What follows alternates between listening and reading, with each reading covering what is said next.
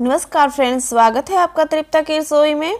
तो फ्रेंड्स, आज के इस वीडियो में मैं आपको एक बड़ी ही खास रेसिपी के बारे में बताने वाली हूँ, जिसे हम कटहर के नाम से जानते हैं। उसे कैसे बनाया जाता है, आज मैं आपको उसका सारा प्रोसेस स्टेप बाय स्टेप बना के दिखाने वाली हूँ।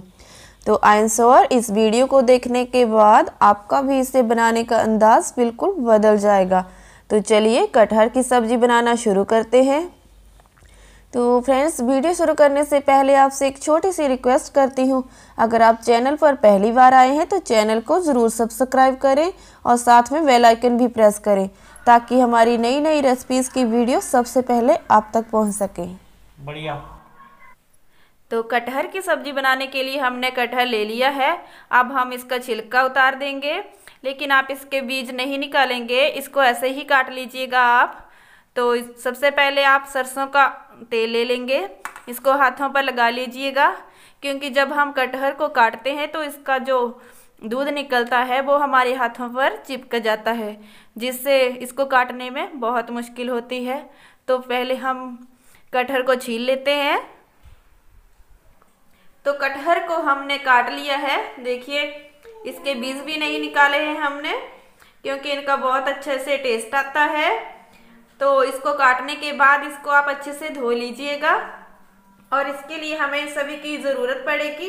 एक टमाटर ले लिया है हमने और मीडियम साइज़ का प्याज काट लिया है। लहसुन, अदरक और इस तरह से हमने हरी मिर्च काट ली है। तो सबसे पहले कटहर को हमें फ्राई करना पड़ेगा। अब हम गैस ऑन कर लेते हैं। अब डालते हैं हम इसमें तेल। फ्राई करने के लिए थोड़ा ज़्यादा तेल लगेगा, क्योंकि इससे ज़्यादा जल्दी फ्राई हो जाएगा हमारा कटहर बाद में आप इस तेल को अलग से रख सकते हैं निकाल कर तेल हमारा गर्म हो गया है तो अब हम डालते हैं इसमें कटहर आप थोड़ा थोड़ा करके डालते जाइएगा।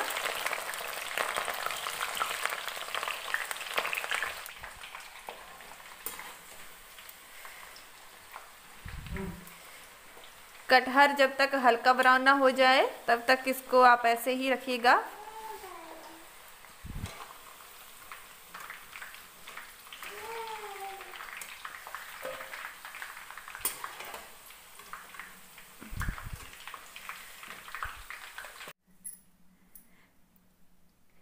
अब कटहर को फ्राई करने के बाद जो तेल बच गया था, उसको हमने निकाल लिया है। तो चलिए अब कटहर को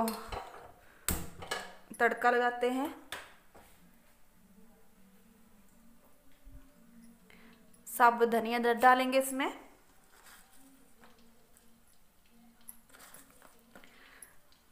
साबुत जीरा। इनको अच्छे से चटकने देंगे। फिर हम इसमें प्याज ऐड करेंगे। अब हम इसमें प्याज ऐड करते हैं।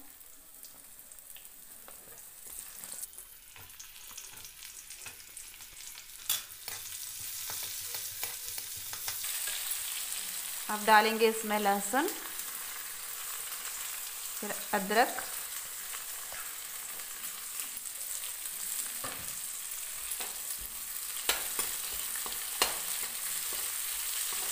इनको अच्छे से ब्राउन होने देंगे, तभी हम इसमें टमाटर ऐड करेंगे। तो अब हम इसमें टमाटर ऐड करेंगे।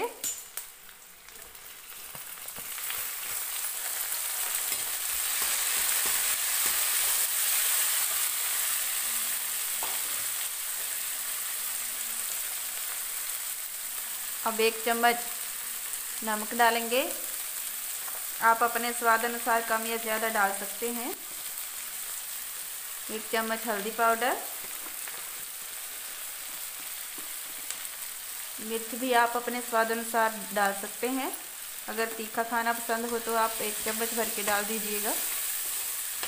एक चम्मच हम इसमें अमचूर पाउडर डालेंगे। इससे इसका टेस्ट बहुत बढ़िया आता है। थोड़ी सी खटास हो जाती है।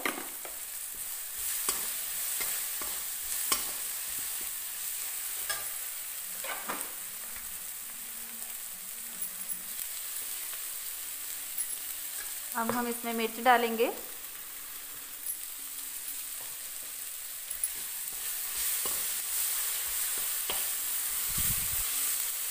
टमाटर भी हमारा अच्छे से गल गया है। अब हम इसमें ऐड करेंगे कटहर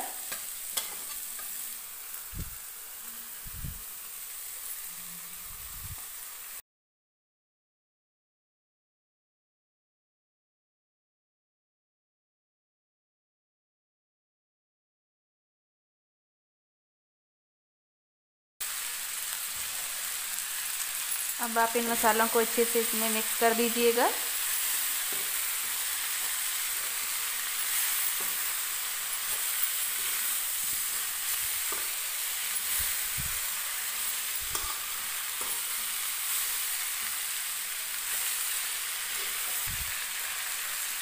अब हम इसको मीडियम आँच पर ढक कर रखते हैं।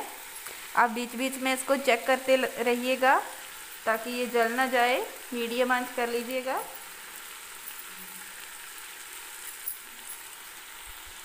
अब हम चेक कर लेते हैं कि हमारा कटहर रेडी हो गया है या नहीं।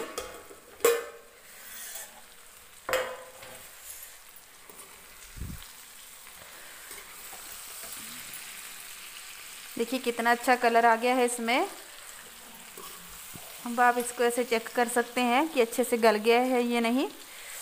ये गल गया है, पर अभी थोड़े बीज गलना बाकी हैं तो हम दो तीन मिनट के लिए इसको फिर से ढक के रख देंगे, ताकि बीज भी इसके अच्छे से गल जाएँ। और दो तीन मिनट के बाद चेक करेंगे। अब हम चेक कर लेते हैं कि कटहर पक गया है अच्छे से या नहीं। चलिए चेक करते हैं इसको।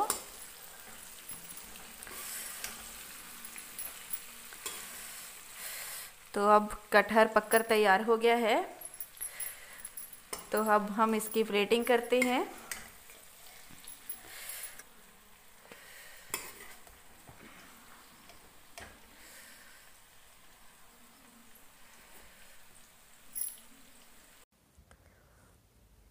तो फ्रेंड्स आप भी इस रेसिपी को घर पर ज़रूर ट्राई करें और वीडियो अच्छा लगा हो तो एक लाइक ज़रूर करें। तो जल्द ही मिलते हैं नए वीडियो में नई रेसिपी के साथ।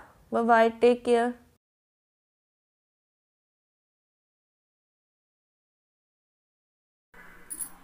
बढ़िया।